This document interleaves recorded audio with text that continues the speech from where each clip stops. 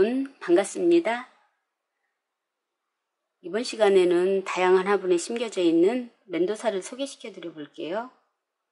이, 이 화분에 심겨져 있는 아이는 어, 수경재배로 뿌리를 내린 아이죠. 물에다가 꼽아두었다가 한 4, 5개월 후에 뿌리가 내려서 음, 실내에 있었던 이 옷자람이 심해서 이 끝이 아주 이렇게 끝이 거의 없을 정도로 야리야리하고 웃자랐던 아이를 이 화분에 심어두고 지금 한 달쯤 지났을까요?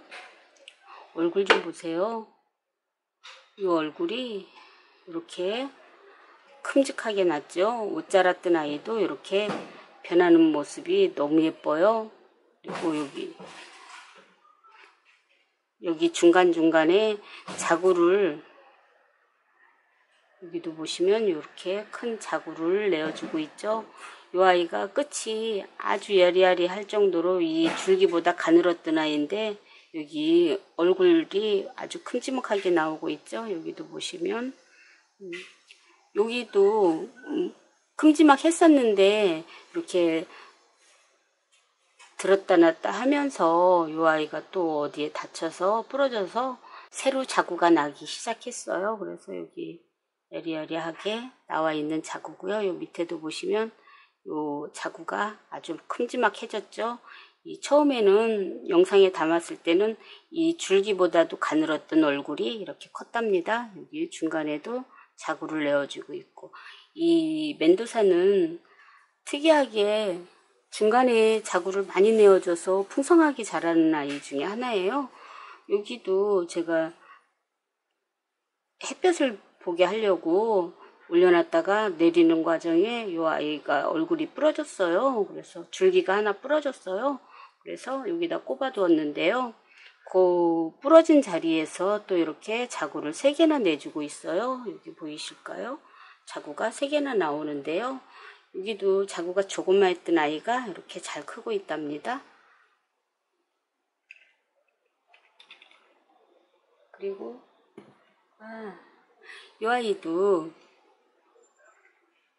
제가 2월 말쯤에 영상에 이 신발에다가 심은 영상을 담았었는데요. 그때도 보일랑말랑 했던 이 자구들이 이제 이렇게 컸답니다. 여기 보이시면 여기 보시면 여기 자구들이 많이 컸죠.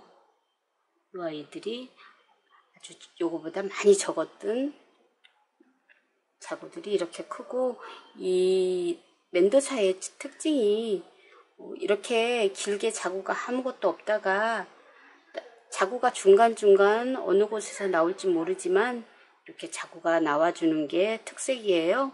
그래서 너무 예쁜 수영을 나중에는 만들어주는 아이가 이 멘도사인 듯 해요. 그리고 이 아이는 제가 여기 불어, 여기 아이들 데리고 올 때 같이 데려온 아이인데요. 확실히 화분에 이렇게 정성 들여 심어놓은 아이보다는 이 아이들이 자라는 모습이나 이 커가는 과정이 틀린 듯 싶어요. 그래도 이 아이도 보시면 이 한 가지에서 이렇게 자구를 세 개나 내주고 있죠. 이렇게 자구를 잘 내주고 요 중간에 이렇게 어, 줄기가 부러지면 또 자구를 옆에서 달아주는 아이 그래서 항상 풍성하게 데려왔을 때보다 훨씬 더 풍성하게 잘 자라주는 게 멘도사인 듯 싶어요. 그리고 이 아이 입꼬지 멘도사인데요. 어, 입꼬지가 이렇게 잘 크고 있다가 어, 처마 끝 아니 처마 끝이 비가 조금 많이 내려치는 곳에 이 아이가 닿았던가 봐요.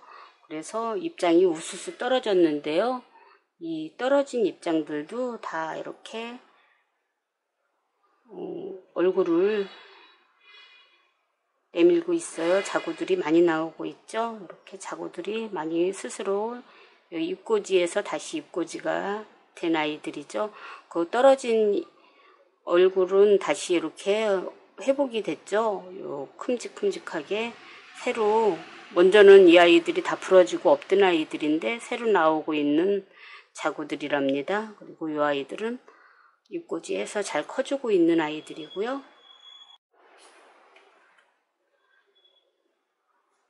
천 원 주고 데려온 이 멘도사도 어, 자구가 없었는데 이렇게 얼굴이 새로 나오고요. 이 아이들은 자구를 아주 예쁘게 내주는 제가 키우는 아이들 중에 자구가 귀엽게 잘 나오는 아이 중 하나 이 멘도사인 듯 싶어요. 제가 키우는 아이 중에는요. 이 아이는 여러 번 보셨죠? 영상에서 이 아이가 어, 두 줄기밖에 없던 아이가 이렇게 얼굴을 많이 내고 풍성하게 잘 자라주고 있어서 너무 귀엽고 예뻐하는 아이랍니다. 제가 그래서 이렇게 오랜만에 또 영상에 담아보고요. 이렇게 있는데도 불구하고 또 큰 화분에 올려서 이렇게 흘러내리도록 키워도 멋있는 아이일 듯 싶고요. 이 가운데 자구들이 빡빡하게 내주고 있는데요. 이렇게 걸어놓으면 아주 멋있을 듯 싶어서 아직 안 심어주고 있답니다. 오늘은 이렇게 멘도사를 소개시켜 드려 보았습니다. 함께 해주신 여러분 진심으로 감사드립니다.